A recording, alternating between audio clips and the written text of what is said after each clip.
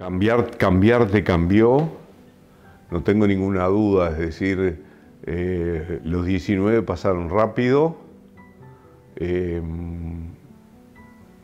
hiciste cosas que nunca pensaste que fueras capaz de hacer, en todo sentido.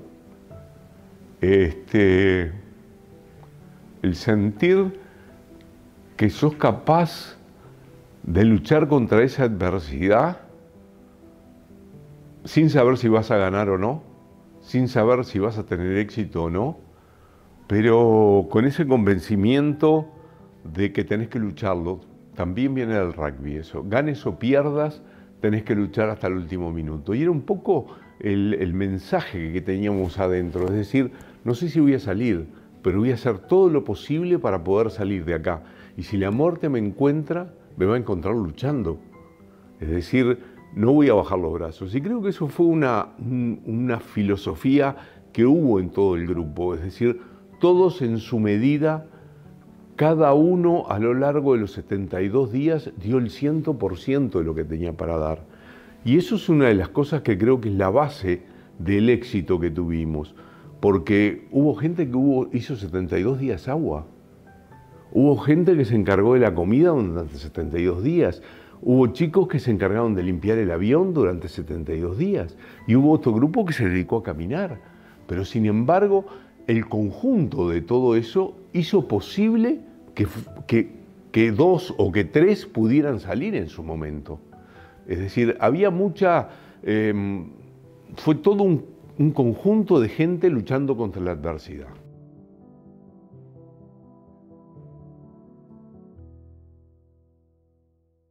Era un viaje de fin de año, siempre se hacía un viaje a Buenos Aires, en general era Buenos Aires en esa época, y el año anterior, en el 71, habían ido a Chile. Y era el viaje, ir a Chile era algo espectacular para nosotros en ese momento. Y cuando salió ese viaje nos anotamos, es decir, tampoco se había conseguido este, el avión charter, creo que valía 45 dólares el pasaje, Chile estaba baratísimo este, entonces había una cantidad de cosas que, que ayudaban. Me acuerdo que me llevó mi papá al aeropuerto, el aeropuerto viejo, bien viejo de esa época, y este, se bajó, este, bueno, nos encontramos con, con, los jugadores, papá conocía a varios padres de los que iban, así que se los saludó y se puso a hablar con ellos, y, este, y era un ambiente muy, festivo, de mucha alegría. Este, también ibas a conocer gente que no sabías quién era, es decir, los acompañantes los mirabas y decías, ¿quién será este? Era amigo de alguien, pero nada más. Y, este, y me acuerdo que cuando me despido de papá, este,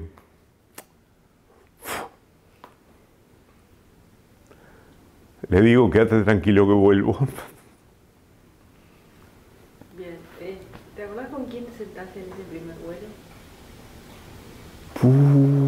iba, tengo idea que iba en el último asiento, éramos cuatro,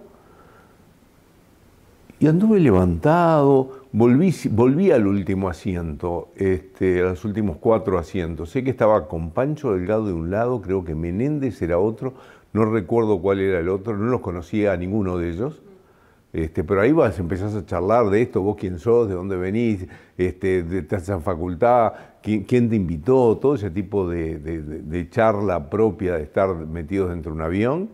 Y, bueno, sí, fui bueno, pero al principio, después de que de cola, viste, te empezás a mover y te vas, para un lado, vas para otro, es decir, todo el viaje de Montevideo prácticamente hasta Mendoza fue un, ir y venir, ¿no?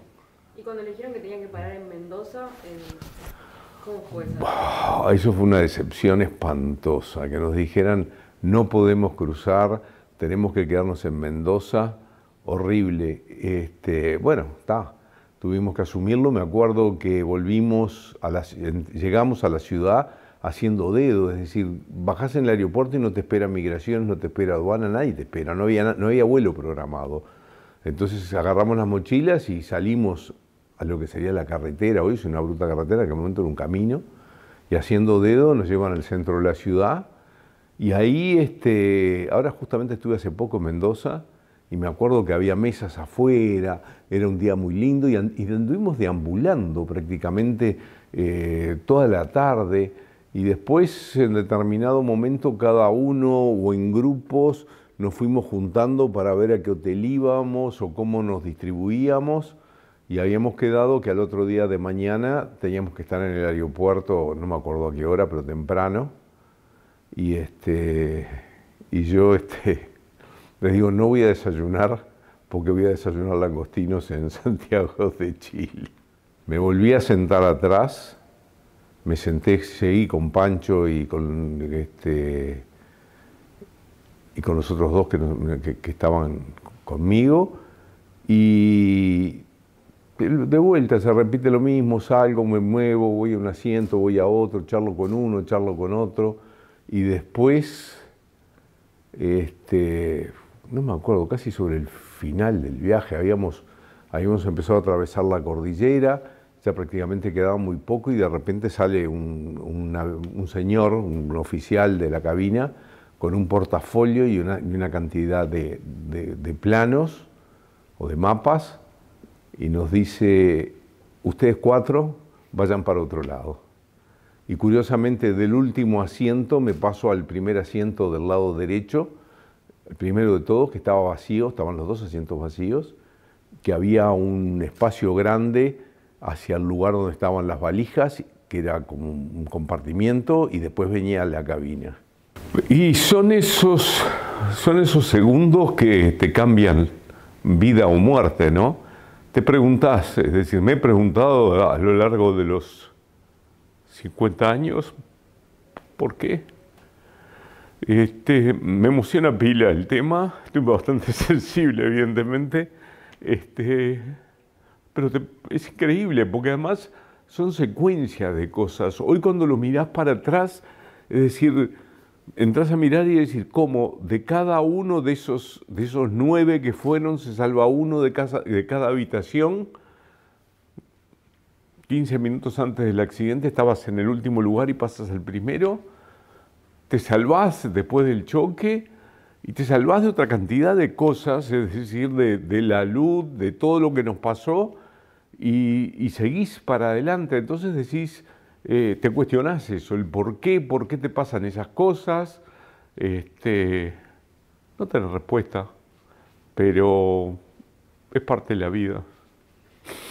¿Y en, qué momento, te fuiste para adelante, en qué momento te diste cuenta o te diste cuenta, vamos a chocar, va a pasar algo? Sí, estaba del lado de la ventanilla y en determinado momento entramos dentro de un banco de nubes y me acuerdo que miro para la ventanilla y poco menos que al lado mío vi tierra, así como un montón de tierra. Y bueno, y ahí se, produjo el, choque, el, choque, la pérdida de la cola, el deslizamiento del avión, todo, ¿no? Fue todo, fueron microsegundos y no me dio tiempo como a, reaccionar a nada. Es decir, veo, tierra, el avión que, que, que sentís que rugen los motores y el accidente. Y lo, próximo que, recuerdo es estar este, abajo de una pila de asientos, un silencio brutal, prendido el cinturón de seguridad y este, me había llevado la mampara esa por delante, estaba prácticamente al lado de la cabina y había un silencio sepulcral hasta que empieza gente a gritar, a llorar y yo no podía hacer nada, estaba colgado del asiento, tenía todos los asientos arriba mío y bueno, tuve que esperar que me, desprendieran el cinturón porque no me dio para, para podérmelo sacar. Me acuerdo que creo que salí para afuera del avión y con una languidez brutal, el mirar esa tarde, ese valle así, el avión partido, y estaba Bobby, Bobby François al lado mío, y que dice, gordo, la quedamos. Este, fue una imagen eh, increíble, ¿no? porque el ver eso en el medio de la montaña, el tener, el sentir que los en los pies tenía frío, estaba nevando, fue una situación muy, muy rara, es decir, pasaste de una cosa a otra en segundos a sentir aullidos, a sentir gente pidiendo auxilio, a ver heridos, a ver muertos, a ver a tus compañeros en esa situación Y ahí aparece una figura que justamente, que también en el, en el rugby es importantísimo, que es el capitán. Es decir, Marcelo Pérez del Castillo como capitán, en esa situación espantosa, porque si vos no mirás, era un caos, era un caos brutal, con muertes, con heridos, con gente que andaba de un lado para otro, y él asume ese, ese capitanazgo y empieza a ordenar, empieza a decirle a uno, hace tal cosa, saca aquel, trae esto, vamos a ordenar aquello. Es decir, te dio una, me dio a mí, y creo que a los otros también, una seguridad muy grande, tener a alguien que diera órdenes y ahí empezó a funcionar el equipo, el equipo de rugby, es decir, eh, empezó a funcionar como equipo dentro de la montaña. Chocaron y a las pocas horas fue, eh, era la noche, se convirtió en noche. ¿Cómo fue esa primera noche? ¿Qué recordás?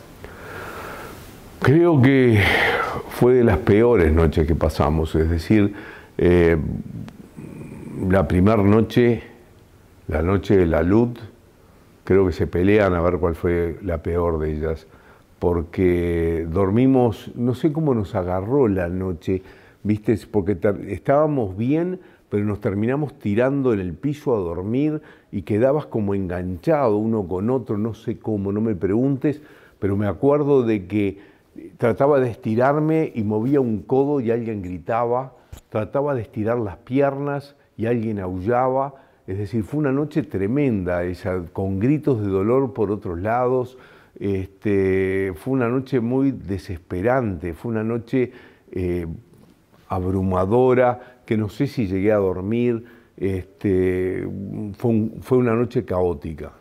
¿Y despertarte al día siguiente? Despertarte al día siguiente ya con el sol, ya empezaste a ver otro, otro ambiente, otras cosas, este, te empezaste, no a acostumbrar, pero a hacerte a la idea de que, bueno, que era una tragedia lo que estabas viviendo, que esperabas que te vinieran a buscar mañana o pasado. Es decir, yo siempre pensé, digo, bueno, uno o dos días. Este, nunca se me ocurrió que, hubiera, íbamos a pasar 72 días ahí. Estaba convencido. Mismo le iba, iba a mi capitán Marcelo y le decía, Marcelo, este, creo que fue el segundo día, le digo, nos vienen a buscar, quédate tranquilo, me decía, seguramente estén preparando el rescate. Y yo me iba tranquilo a hacer las cosas que tenía asignadas y al otro día volví y le decía, Marcelo, no vinieron. Marcelo me decía, debemos de estar en un lugar difícil, seguramente eh, vengan mañana a rescatarnos. Y yo tenía tanta confianza en mi capitán que creía lo que me estaba diciendo. Marcelo evidentemente estaba inventando brutalmente, pero te mantenía, mantenía la, te mantenía la fe, te mantenía esa esperanza de que mañana se iba a producir.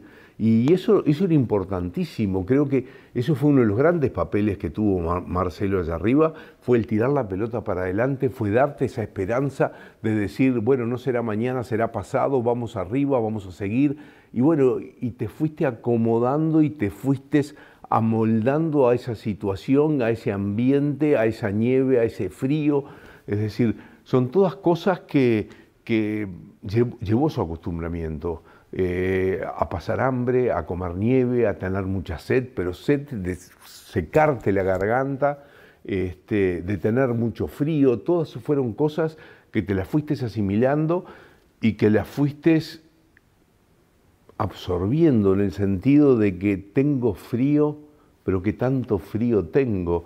Bueno, vos me decías, los primeros días tenías la esperanza, o por lo menos Marcelo te transmitía eso de que, bueno, van a llegar. ¿Cuándo él o vos se dieron cuenta que no iban a llegar. Cuando escuchamos en la radio que se suspende la búsqueda, que ese fue, hoy me decías de las noches que, que los lugares más, eso fue de las peores noticias que tuvimos, es decir, fue el golpe que te derribó todas las esperanzas. Es decir, el sentir que el mundo no te buscaba más, no había nadie buscándote. Esa sensación es impresionante cuando vos salís del avión y ves todo blanco y acabás de escuchar, nadie más me busca. Y vos mirás y decís, ¿y yo de acá cómo me voy? ¿Cómo salgo de esto? Con una montaña enorme, el soñado enfrente, con todo ese valle nevado, y nadie me busca. Ahora estoy por las mías, acá en la montaña.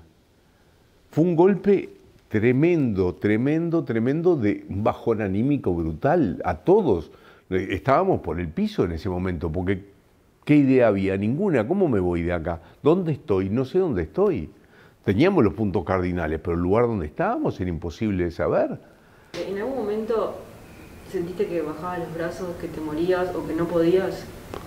De noche. De noche sentía un, como que te des- un baño de realidad. Te desarmabas y la realidad de la noche se te venía encima. Decía, yo de acá no me puedo ir, esto es imposible, esto es una locura. Te dormías y al otro día te ponías como ese uniforme de invencible y salías a lucharla de vuelta. Es decir, te rearmabas y bueno, pensabas que era imposible, bueno, ahora de mañana es posible y bueno, vamos a seguir adelante. Pero sí, tuve, tuvimos y tuvieron grandes bajones, grandes des- desánimos, este, grandes golpes contra la realidad. La realidad te estaba mostrando que iba a ser muy difícil salir de ahí. En la luz yo estaba durmiendo arriba, sentí como que algo, estaba seguro que estaba durmiendo, sí, porque me cae algo en la cabeza y yo estaba tapado con una de esas eh, re- recubrimientos de asientos, yo le digo frazadas, y saco la mano y toco y había nieve. Entonces me doy vuelta y digo, ¿quién está jugando con nieve? Cuando miro así, porque estaba como te estoy mirando y el avión estaba así de costado. Atrás mío estaban las, la, la- la camilla esa alta. Y miro, estaba todo tapado de nieve, había hecho como un bajón y había subido sobre, sobre el, el lugar donde yo estaba. Y los tres que estaban en la camilla, me acuerdo que se habían incorporado, me miraban y no emitían sonido. Me tiro del lugar donde estoy y empiezo a escarbar con una desesperación brutal. Estaba en medias, todos estábamos en medias, que era la peor cosa que te podía pasar, que se te mojaran. Y empiezo a escarbar, a escarbar, a escarbar. Y claro, ahí hab- había hecho como un bulto en la nieve. Y ahí saqué, no sé si a Eduardo, a Fito, alguno que sacó la mano, o Roy empezó a sacar a otros también. Y bueno, y ahí fueron saliendo y se fue dando ese, ese alias de uno vivo, dos muertos, tres vivos, dos muertos. Fueron esos segundos fatídicos que, que fue, fueron brutales también, ¿no? ¿Cómo fue la decisión de empezar a comer los cuerpos de, de quienes habían fallecido? No solo la decisión en grupo, sino cómo fue el proceso interno. Fue un proceso que empezó con el capitán, creo que fue Roberto, creo que estuvo Fito también, no sé si Eduardo. Fue una decisión eh, típica cosa de rugby, se reúne el capitán con dos o tres líderes y deciden cosas y acá pasó exactamente lo mismo. Es decir, eh, vienen y estábamos todos metidos dentro del avión, ellos habían estado afuera, vienen y dicen, miren muchachos, es decir, comiendo esos pedacitos de galletitas o de chocolate y tomando eso, éramos 28 en ese momento, no vamos a poder estar vivos mucho tiempo más. Este, acá hay que hacer un cambio muy grande, si no nos morimos todos, y la solución es esta, es alimentarnos con... Fue un shock brutal el sentirlo, porque por mi cabeza no había pasado, pero ni remotamente. Sé que algunos sí había tenido alguna idea de esas, pero ni remotamente quedé absolutamente choqueado, porque estabas hablando de tus amigos, de tus compañeros de clase, con los que habías entrenado la semana anterior, y te estaban diciendo, nos vamos a alimentar con ellos. Era una locura. Pero por otro lado, el hambre brutal que habías tenido durante esos casi 10 días, este, el morirte de sed, el sentir esa sed brutal a pesar de que, de que te metías nieve en la boca, una, creo que fue como que todo te fue llevando a tomar esa decisión, que era una decisión de vida o muerte, que en realidad ellos si hacen el planteo, sos vos el que tomás la opción. Y nos costó mucho al principio, es decir, estabas venciendo un tabú humano y estabas venciendo un tabú eh, de colegio, de amigos. Estabas, estabas rompiendo con todo lo que era algo que se puede decir tradicional en la sociedad.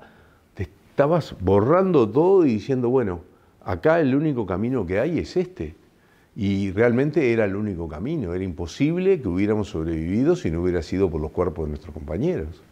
¿Y cómo fue la decisión de decir, bueno, y si yo me muero, también pueden este, alimentarse de, de mi cuerpo? Creo que pasa, eso es parte de las reglas del juego. Es decir, estábamos en ese juego de vida o muerte y si te tocaba, te tocaba. ¿Pero hablaron? O sea, ¿se habló de eso? No, no sé si lo hablé, yo no lo hablé, pero creo que era algo implícito que estaba. Es decir, si yo me muero, tienen derecho a comerme, tienen derecho a seguir, ustedes vivos. Este, por otro lado, también, si le buscas una explicación religiosa, los cuerpos no, no valían nada, en el polvo eres y al polvo volverás, y, la, y esa era una, una opción de poder seguir con gente viva durante un tiempo. Eh, yo creo que fue, hubo cosas tácitas, hubo cosas implícitas, este, estabas en el bolillero. Vos decías que hicieron muchas expediciones. Eh, ¿En qué momento alguien o decidieron, ya está, hay que hacer la última, esa última que partieron ustedes tres? Yo creo que fue la última porque tuvimos éxito. Si no hubiera sido por eso, capaz que hubiera habido alguna otra expediciones, algún plan B había también para seguir valle abajo, ir para el otro lado. Este, cuando muere Numa creo que fue el detonante y fue cuando nos dijeron muchachos, se va mañana. Es decir, ahí había una contraposición de intereses en el sentido de que cuanto más entrado el verano, más posibilidades de éxito los expedicionarios iban a tener y por otro lado, cuanto más tiempo pasara, más gente podía morir en el interín. Es decir, había un... Pero cuando los primos dicen, bueno muchachos, se van, están las mochilas prontas, este, se van mañana y bueno, no fuimos. ¿Cómo fueron esos tres días? Parecían que iban a ser, fáciles porque hasta ese momento habíamos caminado en nieve, pero nunca habíamos escalado. Este, entonces cuando nos enfrentamos con la montaña nos dimos cuenta que íbamos a tener que hacer escalones. Entonces dijimos, bueno, uno hace punta y los otros dos vamos atrás. Claro, el, que iba haciendo punta bárbaro, pim, pim, de repente se le rompía el escalón al segundo o al primero, se caía. Entonces después dijimos, no, vamos por tres lugares distintos y cada uno hace sus escalones. Entonces pateabas, hacías como un, como, un, este, como un estribo, metías el pie, subías un metro y volvías a patear con la otra pierna o el otro pie, y así ibas subiendo. A veces con todo ese esfuerzo se te rompía y te ibas para abajo, entonces abrías las piernas, abrías las manos, cosa de no seguir cayendo y volver a hacer el escaloncito y volver a trepar.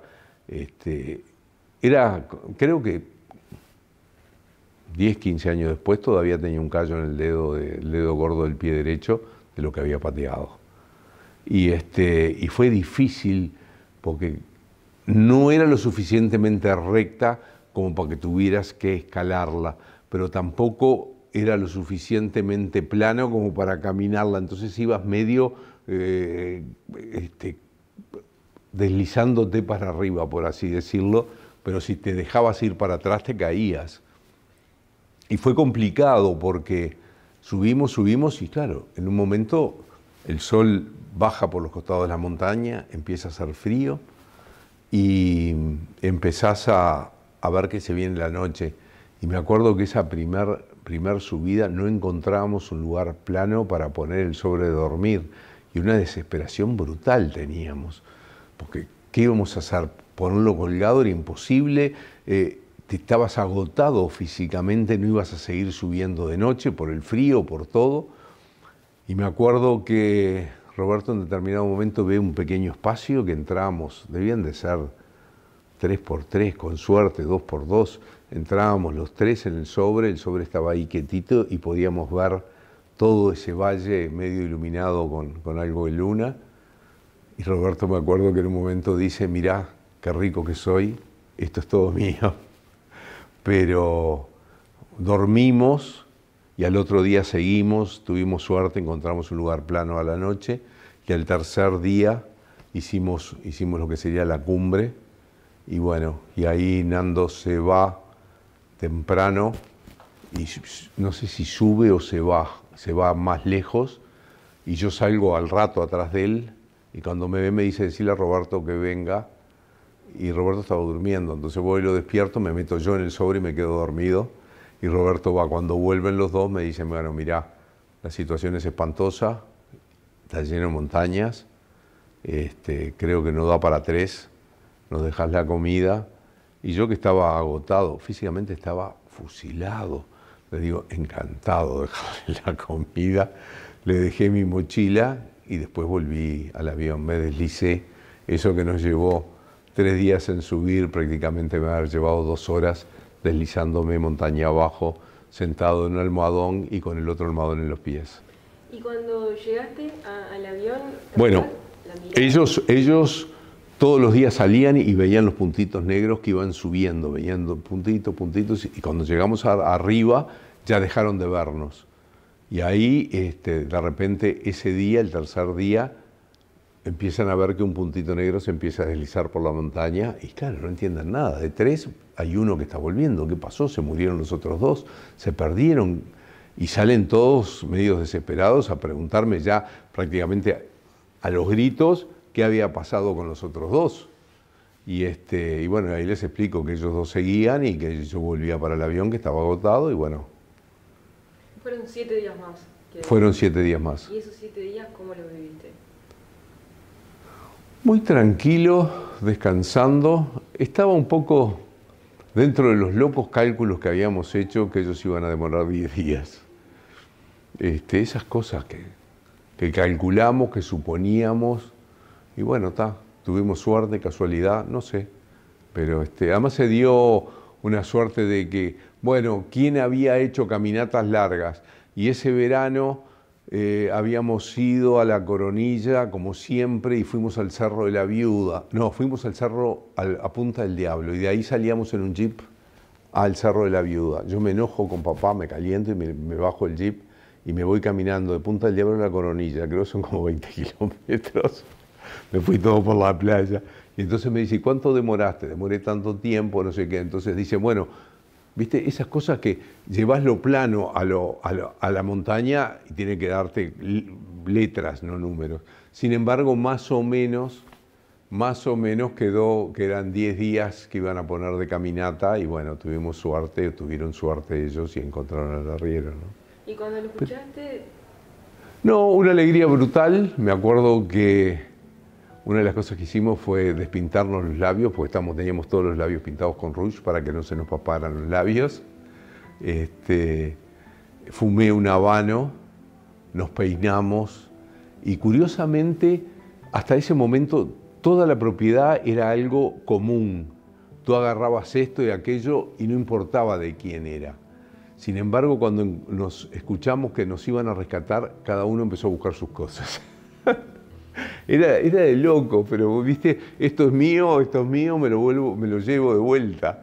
Este, fue una alegría brutal el sentir que nos, que, porque sentimos que dos habían aparecido dos uruguayos, nosotros sabíamos quién eran y era cuestión de, esperar el rescate, ¿no?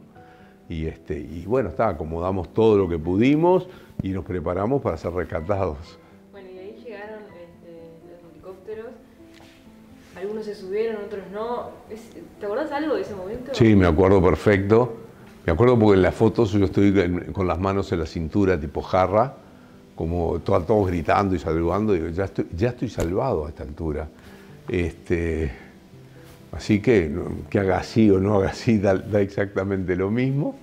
Y esperé y, bueno, me acuerdo que eran tres helicópteros, uno que volaba muy alto, uno que pasa rasante y tira una cantidad de cajas que además decimos, mira dónde tiró la caja, lejísimo, por favor.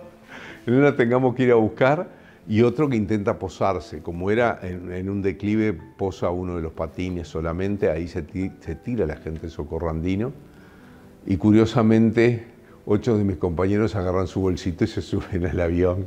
Una vez en un curso de supervivencia me dicen, ah, claro, cuando se posó el helicóptero subieron a los a los heridos, a los que estaban en peores condiciones, no, los que subieron fueron los más rápidos. los heridos se quedaron y fueron rescatados al otro día.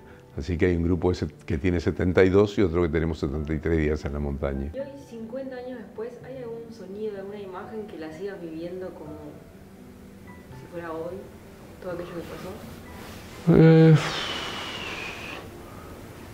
cuando pienso en lo que hicimos, cuando te lo relato, lo sigo sintiendo, lo sigo viviendo, pero no te diría, no, no diría que olores, sensaciones, nada de eso, no, no es algo que lo siga. Sí la historia, que es parte tuya, y lo normal que sos.